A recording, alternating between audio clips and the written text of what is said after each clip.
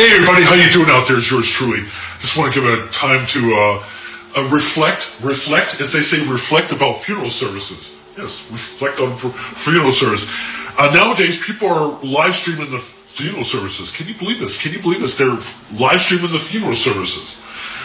Um, every one of them, every one of them in stereo. So we are talking about live streaming the funeral services. Not just a few people, a lot of them nowadays, uh, due to the pandemic and a whole bunch of things. Um, now, these people didn't pass away to the coronavirus 19. They passed away to many things in life.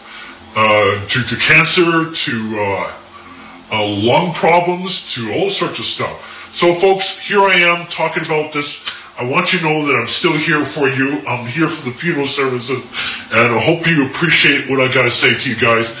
And uh, it comes it comes to my fruition that I'll be talking about this the rest of my years.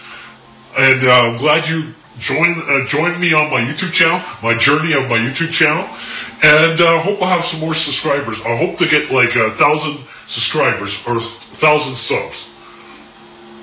And uh, I want to get viewership uh, up there, like uh, 20k views. I want to get 20k views. And uh, I really want to be out there in the masses, the masses out there. This will be no different. So I'm going to talk about funeral service from now on.